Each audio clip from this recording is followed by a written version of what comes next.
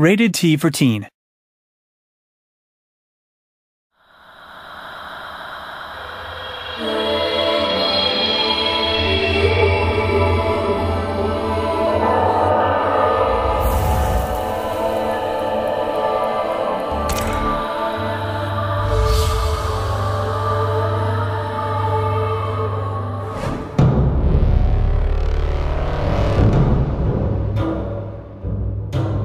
Beginning of the project, we had this core idea of adapting Journey to the West and, and giving it our own visual style.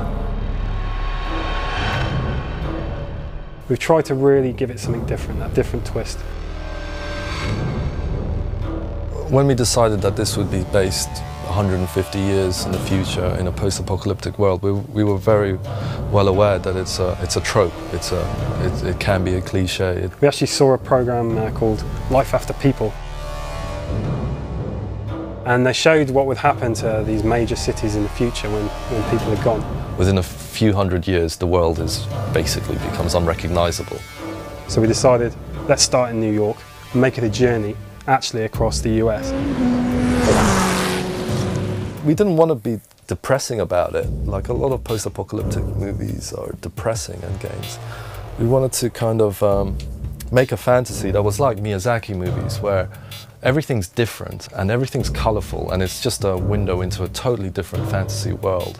We thought New York would be a good place to ground it. If nature is reclaiming, then you need to you need something to be almost aware of. Our style in terms of art is also very colourful, so we always want to we always want to put colour into all our games and we want to add post-processing effects that you would normally see in movies to kind of make the image just feel alive.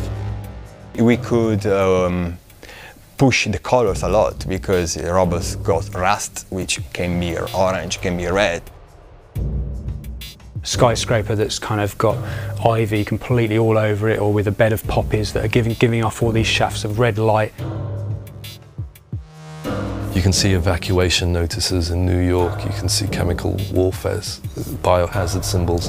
Very often you see something that looks like a tree but actually it's not tree because it's, it's a, maybe a piece of robot.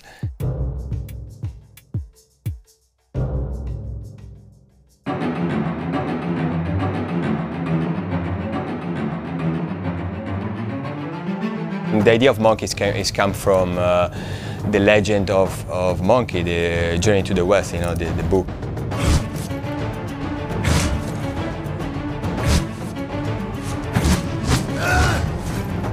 The original one has got a specific mask paint.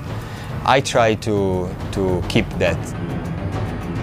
Some people won't be aware of some of the subtleties that we've got in, but there's, there's obviously the staff and Monkey's Cloud.